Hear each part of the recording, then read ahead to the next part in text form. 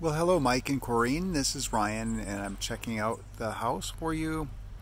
Again, over here, looking at the pretty house, and you're going to hear some background noise from the landscaping equipment that's going on right behind. We saw some pictures of that yesterday. And this is going to give you a little taste of the whole area here, the driveway.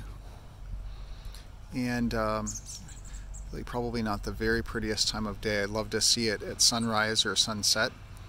Those are the nicest times for seeing it.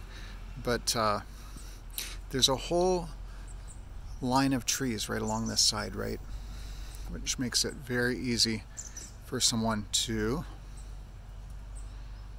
just have a lot of space right along that side, maybe to do a ribbon-like escape-proof little fencing. And then I'm going to step back and show you how it works out. You can see actually the water behind the house from even this angle. And I'm stepping back from the house.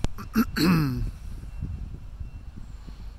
then along the road to give you a taste and then much of the focus will be on the interior and especially on the floor plan itself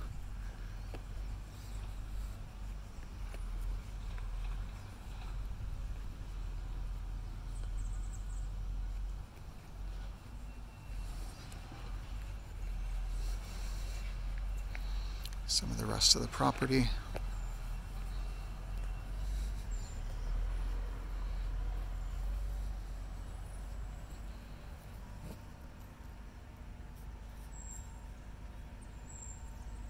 Has its own little private entry entrance area here, which is kind of cool.